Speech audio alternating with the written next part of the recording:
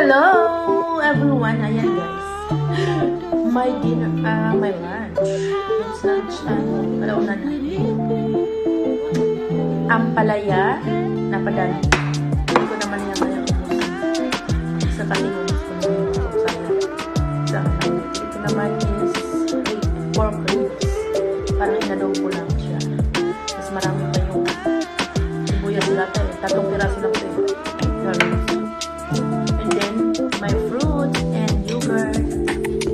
So let's eat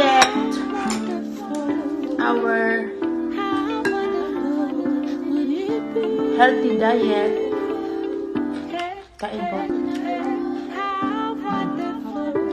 Sarap. Favorite ko to.